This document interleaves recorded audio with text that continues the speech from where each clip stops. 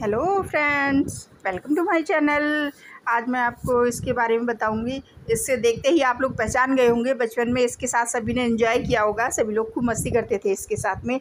ये है छुई मई प्लांट देखिए। छुई मई लाजवंती। देखिए, कितने सुंदर लग रहे हैं। इस तरह से टच कर रहे हैं तो बहुत खूबसूरत लग रहे हैं। तो हम लोग बचपन में बहुत खेलते थे साथ में। आप भी इसके इसे ज़रूर लगाइएगा। कहीं कभी ना कभी आप भी इसके साथ खेले होंगे। हमारे दादा दादी के घर पे आ, मकान के साइड साइड उन्होंने लगा रखे थे या कहो अपने आप को उगाए होंगे। तो एक ये प्लांट था और एक खट्टी मीठी जड़ी बूटी जो होती नहीं है ट्रायंगल पत्ती वाली और खट्टी खट्टी लगती है उसके पत्ते खाने में जिसके सीड को अगर हम टच करते तो तुरंत बस्ट हो जाते थे। वो वाली खट्टी मीठी बीटी जो बूटी होती वो हम लोग उसके पत्ते तोड़ तोड़ के बहुत खाते थे। आज इसे देखते ही अपना बचपना याद आ गया। हाँ तो बहुत टच कर करके हम लोग खूब खेलते थे, छुट्टियों में जाते थे। मानसून टाइम के वापस आते थे, तब तक ये काफ़ी अच्छे से ग्रोथ हो जाते थे, क्योंकि इनकी फरवरी में ज़्यादातर ग्रोथ हो जाती है सीडलिंग हो जाती है, अपने आप ही उग जाते हैं इन्हें मौसम फेवरेबल लगता है। और इमोशनली मतलब अक्सर ये प्लांट गर्मियों का प्लांट कहा जाता है। विंटर में थोड़ा सा ये डोरमेंसी टाइप में हो जाता है। और जंगलों में तो परनील बन जाता है।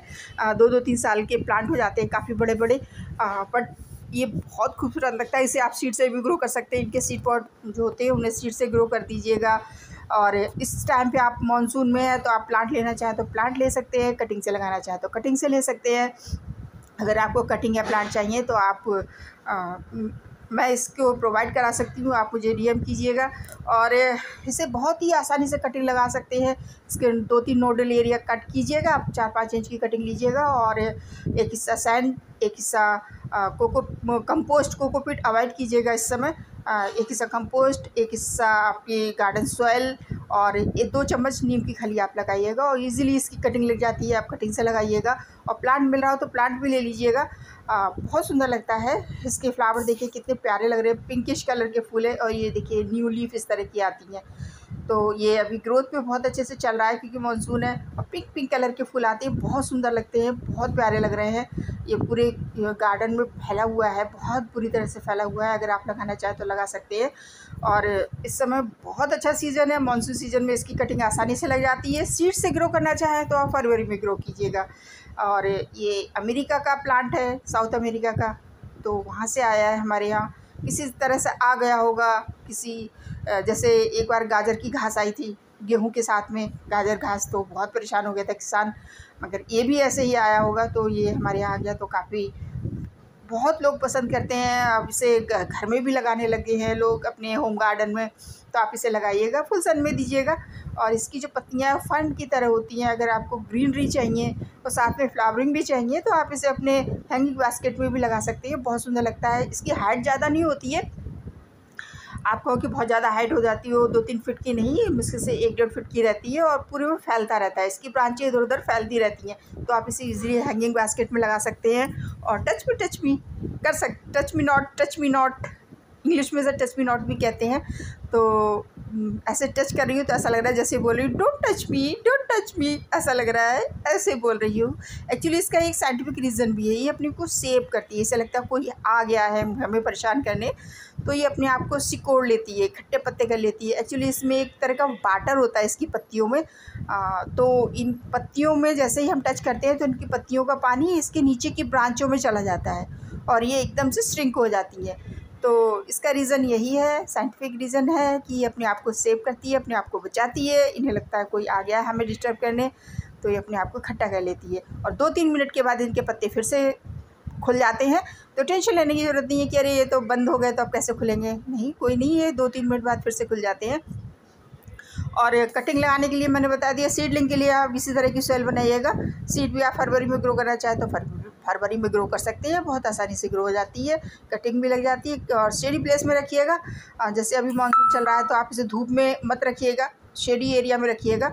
और बारिश का पानी बहुत अच्छा सा अच्छा लगता है इसे, बहुत मस्ती से ग्रो होती है।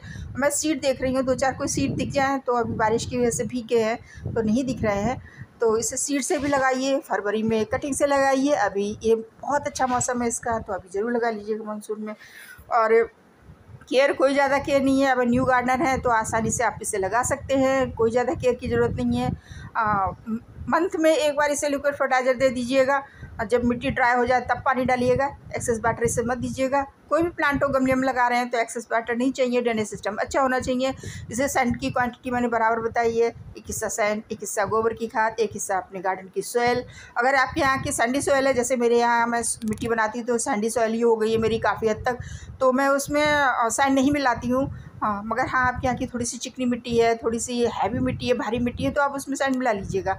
तो बहुत इजीली ये सैंडी सॉइल में लग जाता है और ड्रेनेज सिस्टम अच्छा रखिएगा। कटिंग लगा रहे हैं तो छः इंच के पॉट में लगाइएगा और शेड में रखिएगा। जैसे अभी मौसम बादल हैं तो ठंडा मौसम है तो आप धूप में बाहर रख देंगे और अगर धूप आ गई तो वो बिल्कुल कटिंग बेकार हो जाएगी तो छाया में रखिएगा। बिल्कुल अंदर रखेंगे तो भी इसकी ख़राब हो जाएगी। तो ऐसी जगह रखिए जहाँ मॉर्निंग की धूप मिल जाए, चल जाएगा आराम से। और जब ये मैच्योर हो जाए तो आप कहीं पर भी रह सकते हैं, फिर आसानी से चल जाता है। और बहुत ही ईजी टू ग्रो है ईजी टू मेंटेन है, कोई ऐसी दिक्कत नहीं आती है इसमें। और इसमें पिंक कलर के फ्लावर्स बहुत अच्छे लगते हैं, जैसे कि छोटी सी बॉल हो गोमफ्रीना टाइप के इसके फूल लगते हैं। बहुत प्यारे लगते हैं सॉफ्ट सॉफ्ट से लगते हैं। तो फ्लावरिंग भी अच्छी देते हैं और ये पत्ते भी अच्छे लगते हैं। तो मतलब दोनों चीज़ें हैं, जैसे सिर्फ़ फर्न लगाते हैं तो उसमें ग्रीनरी रहती है। इसमें आपको पिंक और ग्रीन का कॉम्बिनेशन मिल जाएगा, बहुत खूबसूरत लगेगा। देखिए कितने प्यारे लग रहे हैं। छोटे छोटे जैसे बॉल लग रहे हैं, लगे हुए वाइट वाइट येलो वो पिंक पिंक कलर के। तो आप इसे अपने गार्डन में ज़रूर जगह दीजिएगा और जितना प्लांट फैलेगा उतने ही इसमें फ्लावरिंग ज़्यादा होंगे। और इसे आप हैंगिंग बास्केट में इजीली लगाइएगा, बस ड्रेनेज सिस्टम अच्छा रखिएगा होल देख लीजिएगा पॉट में नीचे और छः इंच के पॉट में इसमें लगाइएगा तो आसानी से चल जाएगा, क्योंकि ज़्यादा इसकी रूट जो है ज़्यादा गहरी नहीं जाती हैं, फैलती हैं। गहरी नहीं जाएँगी, फैलेंगी इधर उधर। तो इसे छः इंच के पॉट में लगाइएगा, बहुत ज़्यादा करें तो थोड़ा बड़ा हो जाए तो आठ इंच के पॉट में लगा दीजिएगा। दस इंच के पॉट से ज़्यादा पॉट बड़ा मत लीजिएगा। और लिक्विड फर्टिलाइज़र आप वीक में एक बार दे सकते हैं ईजिली जब फ्लावरिंग के टाइम पे हो और जैसे फोक वगैरह पड़े तो थोड़ी ऐसी जगह रखिए, जैसे ऊपर छत हो तो वहाँ रख दीजिएगा। इसके ऊपर फोक नहीं पड़ना चाहिए फोक की वजह से ये थोड़ा सा बेकार हो जाता है और बारिश में तो बहुत मस्ती करता है। देख रहे हैं आप कितना अच्छा लग रहा है बारिश में, सभी प्लांट इन्जॉय करते हैं।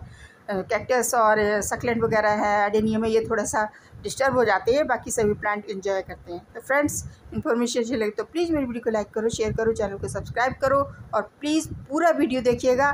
बीच में मत छोड़िएगा वीडियो और आपके सपोर्ट की बहुत ज़रूरत है। प्लीज़ प्लीज़ प्लीज़ मेरी वीडियो को लाइक करो शेयर करो चैनल को सब्सक्राइब करो और नई जानकारी के साथ, नई वीडियो के साथ फिर मिलेंगे। तब तक गार्डिंग करते रहिए, खुश रहिए। Bye bye friends